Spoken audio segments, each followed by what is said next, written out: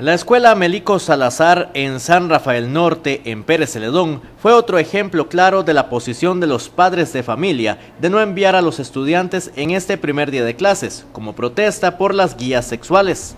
Cerca de un 30% de la matrícula total asistió este jueves y queda claro en las imágenes de las aulas. En realidad este, este año teníamos una matrícula que sobrepasa los 100 alumnos y todos eh, deberían de estar acá.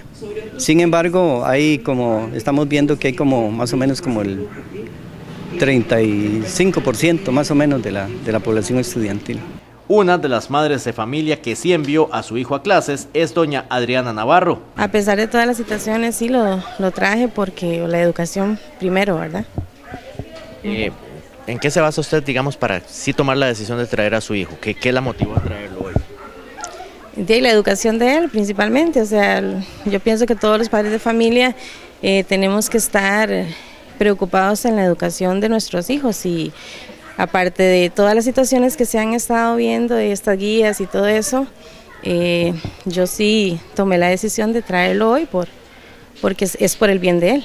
El director de este centro educativo tenía claro que el panorama en el primer día del curso lectivo 2018 no iba a ser normal por las llamadas de los padres de familia anunciando la posición. Sí, eh, en realidad sí, muy bajita la, asistencia, más que todo, eh, como mencionaba hace un rato, ayer me llamaron algunos padres de familia que probablemente no iban a enviar los, los alumnos a clases porque por la controversia con respecto a las, eh, guías eh, sexuales. Eh, muchos de los que están acá fue porque llamaron y yo les dije que, que por favor que, que vinieran, que era importante que el primer día de clases los alumnos vinieran acá y que de todas formas lo que son las guías sexuales pues no iba a afectar a los niños, especialmente en primaria.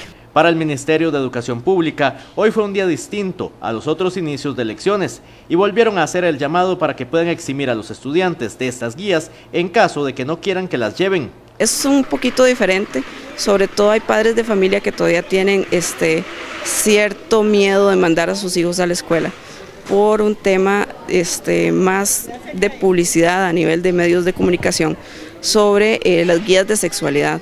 Hay que dejar claro tal vez a la comunidad que para primero y segundo ciclo las guías son de educación cotidiana.